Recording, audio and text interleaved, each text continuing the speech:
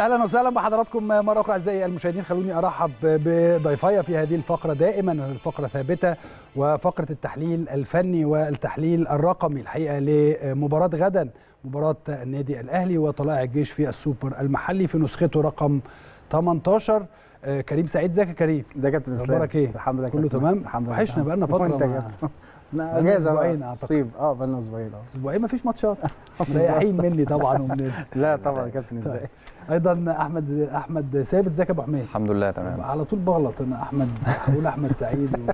كده يلا مفيش مشكلة. السن برضه والزهايمر لا يا كابتن أخبارك إيه يا ابو حميد؟ مبروك. طبعا الجائزه أنا شفت إن أنتوا جايبين جائزه بسم الله ما شاء الله.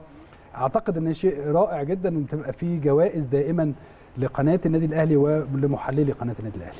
هو طبعا يا كابتن اسلام هو يعني آه، شكرا طبعا لكل ال- الناس اللي آه، صوتوا لنا في استفتاء آه، صفحة الميديا على الفيسبوك وطبعا بنشكرهم بصراحة كلهم وطبعا أكيد اللي وراه جمهور النادي الأهلي طبعا. آه، بيبقى محمي.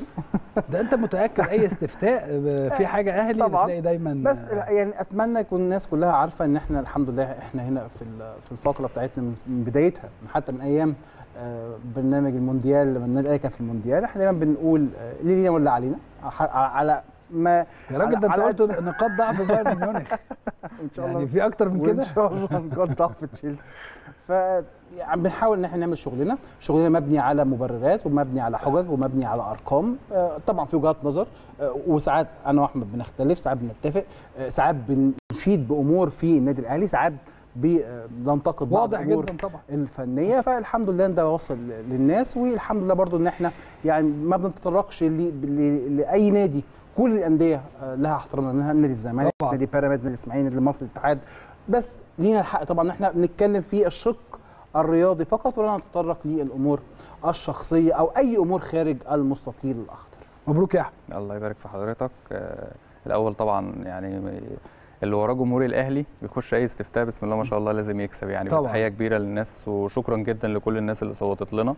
وتحيه طبعا لحضرتك. أكيد حضرتك اللي اديتنا الفرصة يعني من أول الأهلي في المونديال من ساعة برنامج الأهلي في المونديال والحمد لله استمرينا.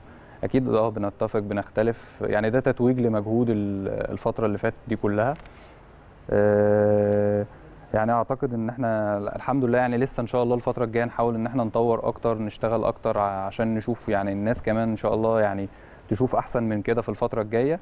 وبنشكر كل الناس اللي صوتت لنا يعني في المسابقة.